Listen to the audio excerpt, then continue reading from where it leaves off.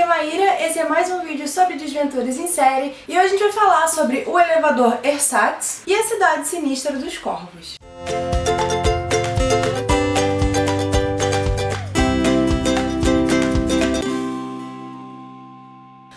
Ersatz é o sexto livro, e aqui os irmãos Baudelaire vão morar com um casal muito rico no topo de um prédio de 80 andares. Esse casal decidiu ser guardião dos Baudelaire porque órfãos estavam na moda. Então toda a vida desse casal gira em torno do que está na moda. Quando as crianças chegam no prédio, luz e elevadores estão fora de moda. Então eles precisam subir os 80 andares no escuro de escada. E esse apartamento que eles vão morar não é só lá no último andar, como também é um apartamento gigantesco. A ponto das crianças se perderem no tanto de sala, cozinha, quartos. Um dia as crianças decidem explorar o poço do elevador do prédio e o que, que eles encontram lá? Os irmãos Quagmire, aqueles que foram raptados no livro anterior, estão lá presos, obviamente, pelo Conde Olaf. Acaba que as crianças têm que correr para um leilão onde elas acham que os Quagmires vão ser leiloados pelo Conde Olaf para ser levados para bem longe dali. Só que nisso eles descobrem um túnel que vai desse poço do elevador e sai na ruína da casa deles, em que os pais deles morreram no incêndio. Que levanta a questão por que, que existe um túnel. Será que isso tem algum envolvimento com a morte dos pais deles? Mas como vocês podem imaginar, o Conde Olaf acaba fugindo de novo e levando os Quagmires com ele. Essa coisa de estar na moda é um comentário muito engraçado que o autor faz, porque ele leva num nível que realmente, se você for pensar, é muito ridículo. E ele claramente está mostrando que não faz sentido nenhum.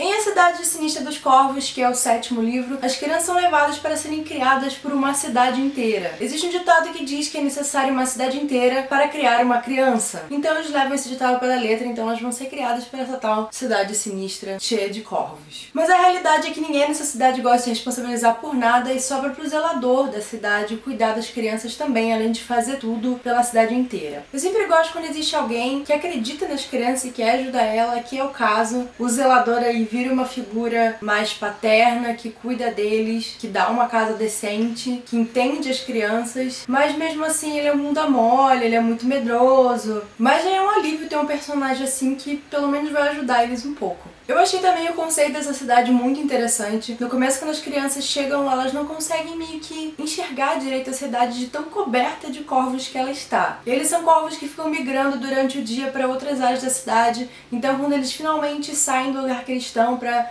viajar para outro lado, para o norte ou para o sul, aí eles conseguem ver os prédios, enfim. Aqui também a gente tem mais uma referência ao Edgar Allan Poe. O nome da árvore em que os corvos vão à noite para dormir se chama Nevermore. Bom, nessa história, além das crianças se mudarem para essa cidade e tem que ficar fazendo as tarefas junto com o zelador, elas encontram dos dísticos, que são os poeminhas de duas frases que a Isadora Quagmire escreve. E no poema ela pede ajuda deles. Então eles passam grande parte da história tentando desvendar onde é que os irmãos estão presos e como eles vão fazer para resgatá-los. Esse é um dos poucos livros que o Conde Olaf não consegue muito bem o que ele queria, mas isso infelizmente não significa que os Baudelaire vão se dar bem de alguma forma. Eu acho que desde o quinto livro a série deu uma boa engrenada. Desses dois livros, o que eu gosto mais é o sétimo. Principalmente a questão do ritmo, que o sexto livro, mesmo sendo pequenininho, acaba sendo um pouco esticado, talvez. E o sétimo livro ele tem um plot mais interessante. Acho que até a própria cidade onde se passa a história é mais fascinante. Ainda mais que eu sou apaixonada por corpos. Bom, gente, é isso. Espero que vocês tenham gostado. Se vocês perderam algum outro vídeo das Desventuras em Série, eu vou deixar linkada a playlist pra vocês assistirem. Então agora eu vou ler o oitavo e o nono livro.